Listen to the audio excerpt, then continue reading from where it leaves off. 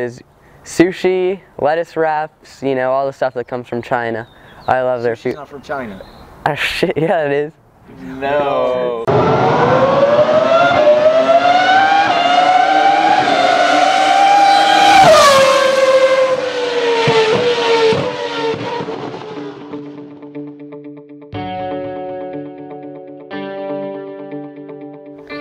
Hello, I'm Hunter Yeany. I'm 15 years old, and I'll be driving FR Americas with Velocity Racing Development this season. I got into karting a little bit late. I started at 10 years old. All the other kids I was racing against started at 5. So I decided to get into cars early with Velocity Racing Development, and, um, and I won everything in the F4 US season. What was hard for me going from karts to cars was that uh, there's a lot more car than in a go-kart.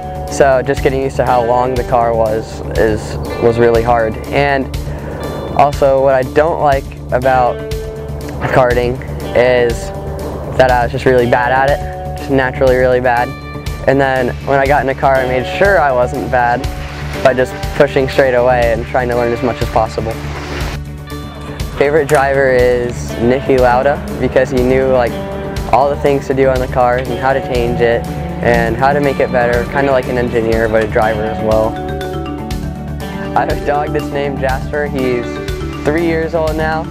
Uh, he's a Bichon Poodle. He's about this big, this tall, and what I like to do with Jasper, I like to take him for walks. Uh, my favorite food is sushi, lettuce wraps, you know, all the stuff that comes from China.